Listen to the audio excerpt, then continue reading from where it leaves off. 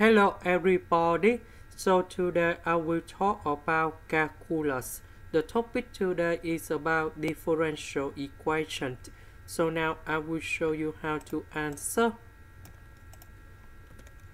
Negative 2xy we put on the left.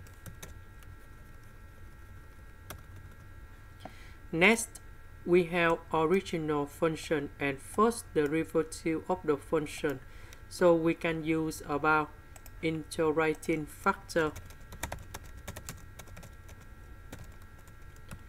So we need to find about mu s equals to e to the power of the integration we see that 2x next to y that is about integrating factor.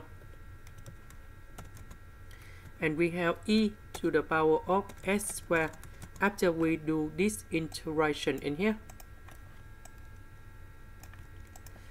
So we multiply both sides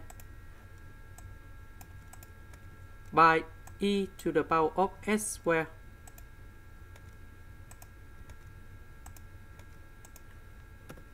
Next, we put the integration for the both sides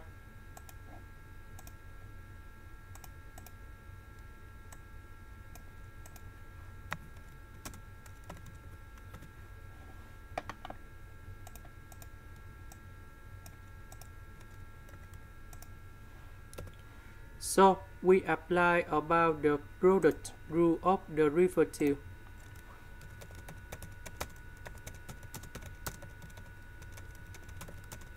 So first the derivative of y equals to first derivative of u multiplied by v plus first derivative of v multiplied by u. So in this situation in here, this is about first derivative of u multiplied by v. This one is about first derivative of v multiplied by u. So if we do this integration, we have y equals to uv.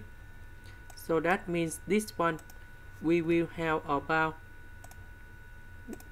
y multiplied by this one now, I will go to find this integration. s to the power of 3 we can put into s square multiplied by s.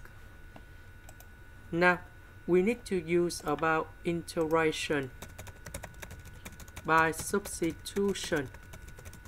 So I will put about u equals to s squared so we do first derivative for the both sides. Because we don't have number 2 in here, so we divide both sides by number 2.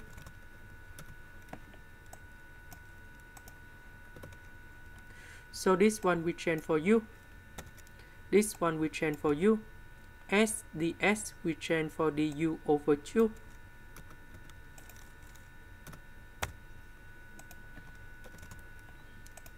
Next, we need to use about integration by parts.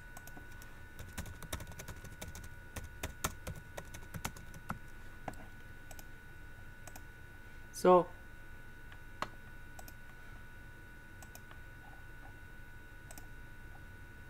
we put about t equals to u.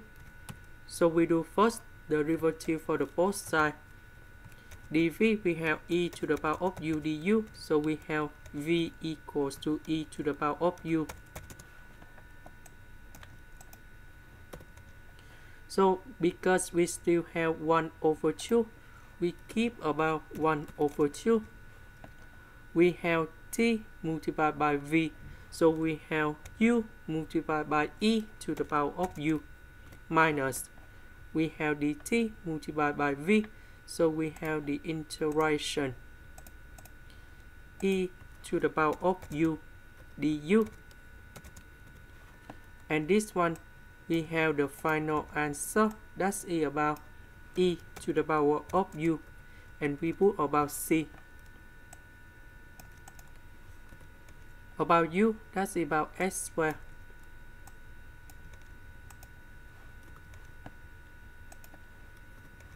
Now we put this one to replace this one in here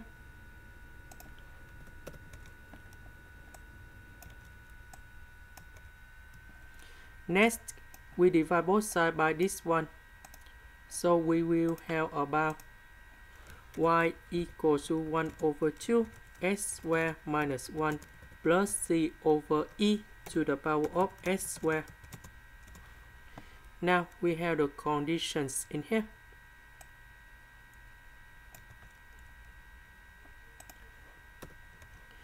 So we put s equals to number 1, y equals to number 2 to find the value of c.